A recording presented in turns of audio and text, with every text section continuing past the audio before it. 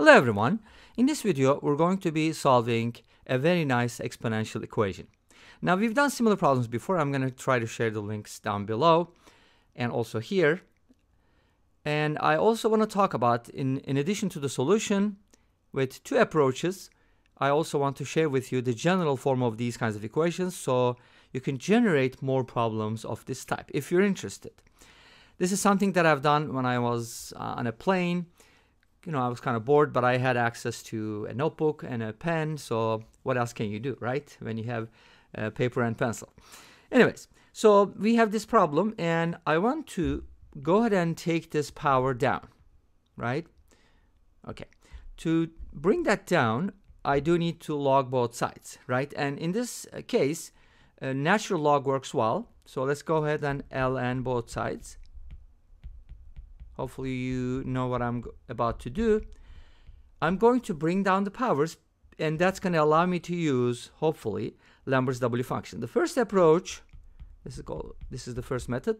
The first method may be incomplete, uh, but I will definitely completely show you the second method, okay?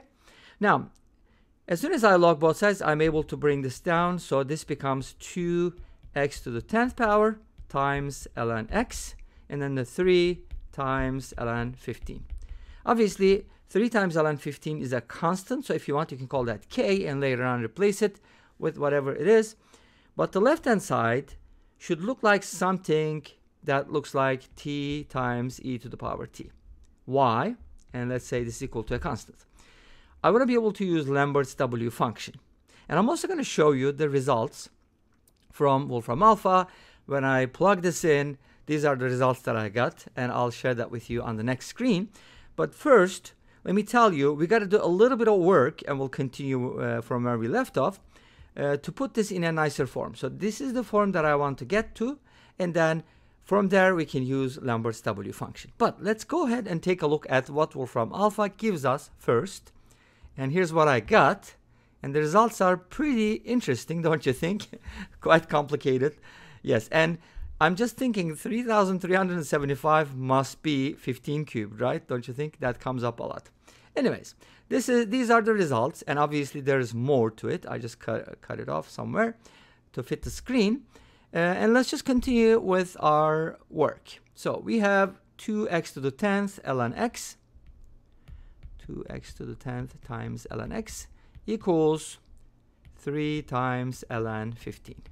Remember, 3 ln 15 is a constant, so you can call that k if you want. But what do you do on the left-hand side? First of all, you do need something like t times e to the power t. And you don't have that because you have an ln x and you have a power of x. So what can you do about it? Well, you can definitely do this. ln x can be written as, or you can use substitution. For example, I can call this t, and then when I do, this is going to be uh, ln x equals t implies x equals e to the t. So now this is going to be 2 e to the t to the 10, which is e to the 10t, multiplied by t equals 3 ln 15. So I didn't get this, but I got close. I have 10t in the exponent, but I have a t here. No worries. You can multiply both sides by 5, and that'll do the trick. Isn't that awesome? Like you do a little bit of something in math, and then you can get what you want.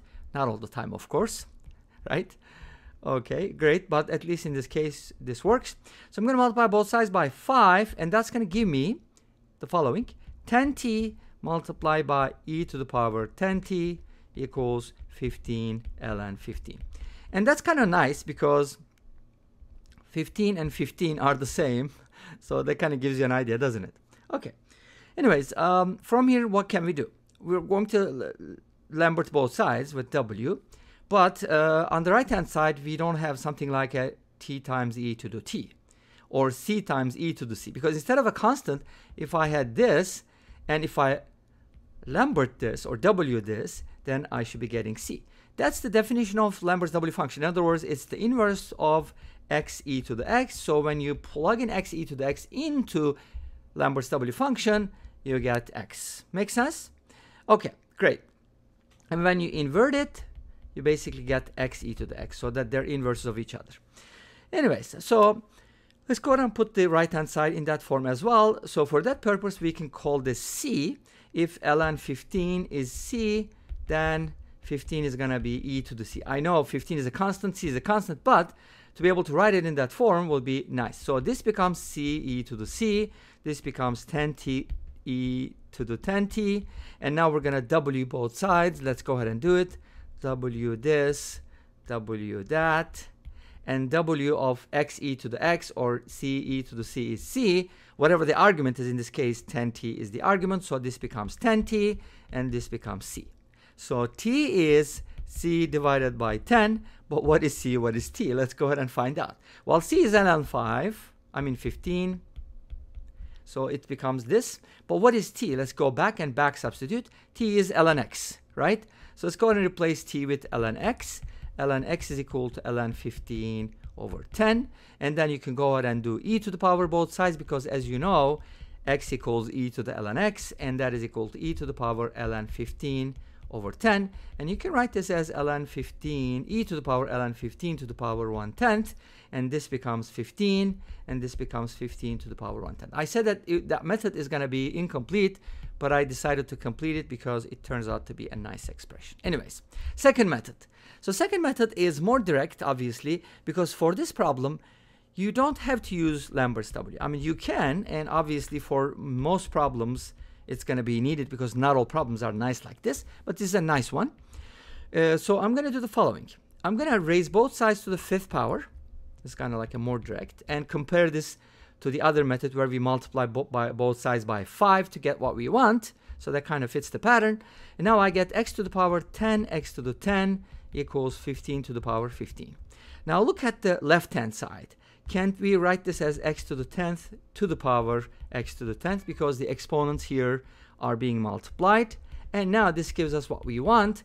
We have something like base to the base equals 15 to the 15. So from one-to-one -one correspondence, you can basically say that, hey, x to the power 10 is supposed to be 15. So from here, x becomes 15 to the power 1 tenth, or the 10th root of 15. I'm basically talking about this in the real sense, not just in the complex sense, but you can also think about it this way.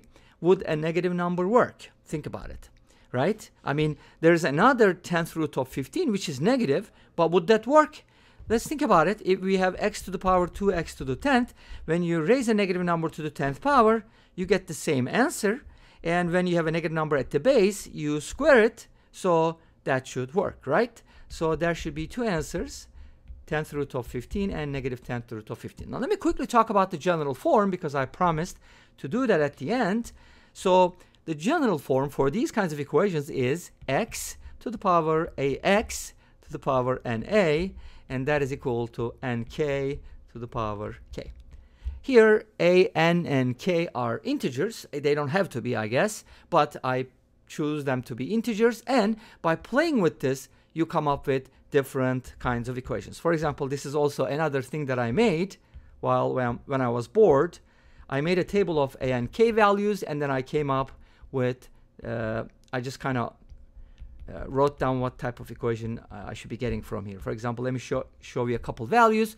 If n is a is equal to 2, n is equal to 3, and k is equal to 5, you get x to the power 2x to the 6th power equals 15 to the power 5 when x is equal to for example 2 n is 4 I mean a is 2 n is 4 and k is 5 you get x to the power 2x to the 8th equals 20 to the 5th power. And you can gen definitely generate thousands of values with this. And this brings us to the end of this video. Thank you for watching. I hope you enjoyed it. Please let me know. Don't forget to comment, like, and subscribe. I'll see you next time with another video. Until then, be safe, take care, and bye-bye.